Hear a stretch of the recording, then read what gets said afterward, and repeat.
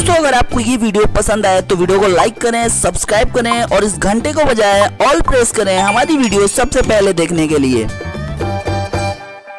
स्वागत है आप सभी का YouTube चैनल में। दोस्तों, आज की इस वीडियो में आपको बताएँगे यूपी बोर्ड एग्ज़ाम 2021 से कब होगा। यूपी बोर्ड ने एग्ज़ाम से संबोधित किया। ये बड़ा बदलाव जानिए, परीक्षा को लेकर क्या है अपडेट जी हाँ इस वीडियो में आपको बताएँगे कि सरकार ने कौन से नए नियम लागू किए हैं यूपी बोर्ड एग्ज़ाम को लेकर। तो आगे आपको फुल डिटेल के साथ बताएँगे। तो सबसे पहले आप इस वीडियो को लाइक कीजिए, शेयर कीजिए और ऐसी वीडियो देखने के लिए चैनल को सब्सक्राइब करके नोटिफिकेशन बेल को ऑन कर लीजिए। तो चलिए आपको बताते हैं यूपी बोर्ड एग्ज़ाम 2021 कब होगा?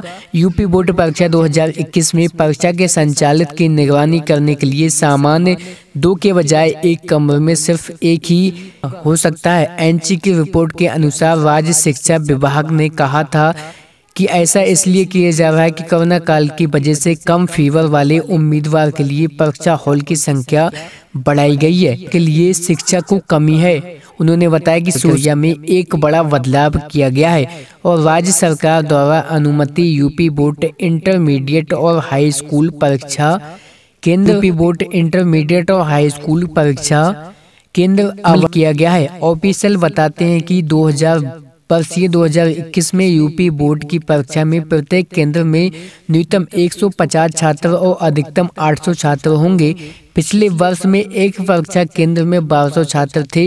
इसी तरह प्रत्येक छात्र को 20 वर्ग फुट के बजाय 36 वर्ग फुट की जगह दी जाएगी। जी हाँ यूपी बोर्ड एग्ज़ाम के मानने के अनुसार एक कमरा 500 वर्ग फिट में अधिकतम चौदह या फिर पंद्रह बच्चे बैठाने की व्यवस्था होगी। पालन करते हुए दो छात्र के बीच प्रत्येक जगह होगी। इस प्रकार 2020 में केंद्र की संख्या सात हज़ार सात सौ तिरासी थी। से बढ़कर 2021 में लगभग चौदह हज़ार हो जाने की संभावना है। इसलिए इतनी बड़ी संख्या में परीक्षा केंद्र के लिए शिक्षा की कमी हो सकती है। विशेष रूप से हिंदी, अंग्रेज़ी और विज्ञान, सामाजिक विज्ञान विज्ञान आदि जैसे अनिवार्य को लेकर लोकप्रिय विषय में प्रत्येक व्यक्ति को दो समस्या हो सकती है, जिन्हें बड़ी संख्या में छात्र उपस्थित होंगे।